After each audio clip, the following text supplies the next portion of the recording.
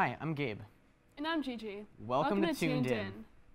In recent years, computers and technology have become increasingly integrated into education.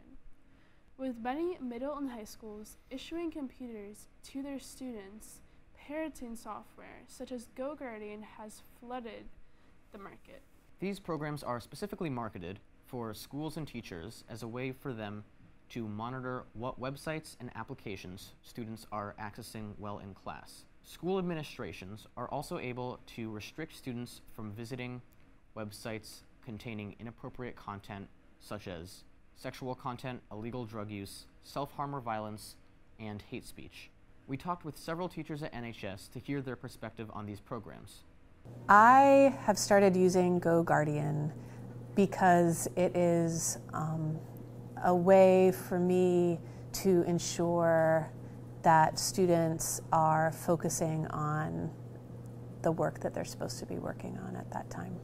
Um, it shows you which websites students have been spending a uh, percentage of time on. Um, and so it gives you a pie chart that shows you basically which websites were being visited um, and for how long. I think what's important is for students to know that um, ultimately this is in everybody's interest, best interest.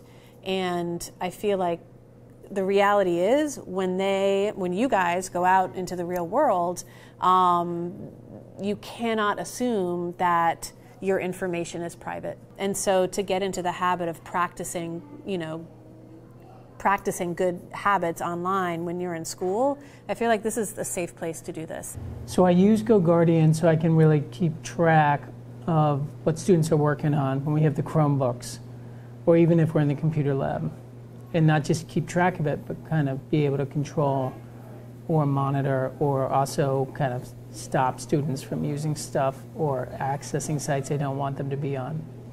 So I'm able to message students either one on one or as a group which for my elective, my Middle Eastern class, can actually be a great asset, especially moving forward as we're going to function as kind of a workspace.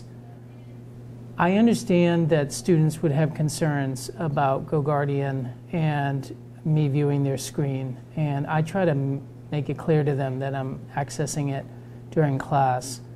Students are worried that teachers are seeing what they're doing outside of class, of which I have absolutely no interest in doing and wouldn't want that for myself either. I don't want, I wouldn't want to know, quite frankly. So I understand that they have concerns, and if they have concerns, then I have concerns. As use of this software becomes more commonplace, issues of privacy have come to the forefront of both ethical and legal debate. And I have a couple of concerns. My one concern is around their surveillance. So these softwares have the capability to monitor every click, um, every search that kids do, uh, even when they're at home. And they also have the power to turn on a camera when the kids are at home. And GoGuardian in particular has been found to have done that in the past. Tune in next week. Thanks for watching.